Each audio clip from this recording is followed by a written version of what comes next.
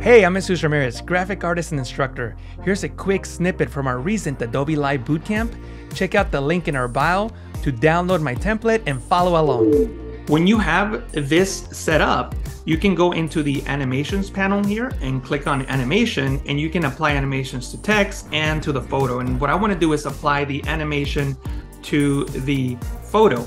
I'm going to click on zoom and then click on this icon here to do to check them out. See that? That's one. This is another. And I kind of like this one, the one that kind of zooms out like so. And notice that effect that it's creating there. See, that's how the lightning just comes in. It looks pretty cool.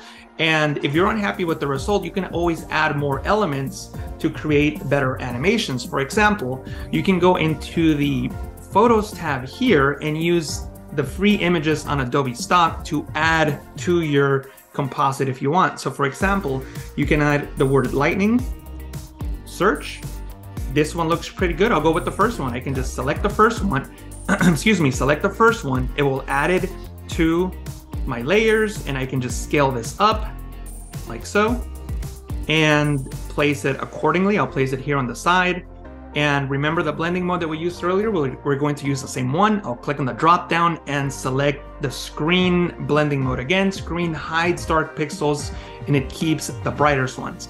This layer, however, was much brighter than the previous layer that we used. So you get this white haze over the image and we can fix that.